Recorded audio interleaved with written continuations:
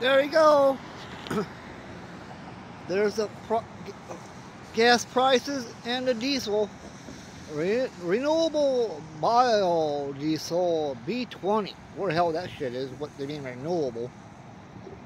Yeah. Yeah, you guys voted for this shit. Yeah, you're so smart, you're stupid.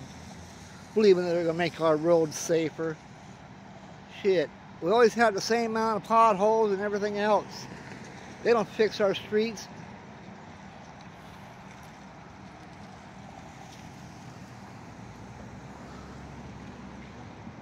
Go drive around Wilmington and see what the, what the road conditions are. Yeah. You believe in that? Make our roads safer and all that. They ward it different directions. You're so smart, you're stupid. They just keep rewriting it, meaning the same thing. All right, bye for now.